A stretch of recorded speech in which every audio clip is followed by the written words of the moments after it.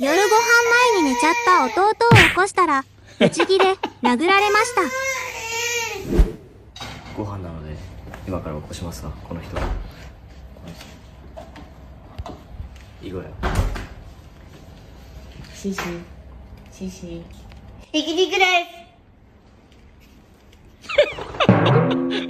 すシシです。竜の息吹悟空。悟空。おい悟空。いやそれじゃ起きないだろ。起きないかうん。脳が夫婦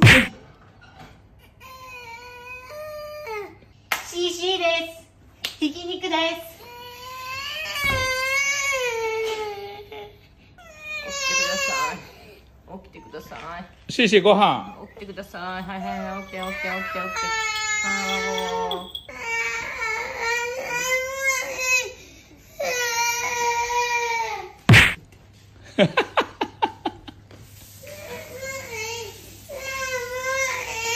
ご飯今日チャーハンだって。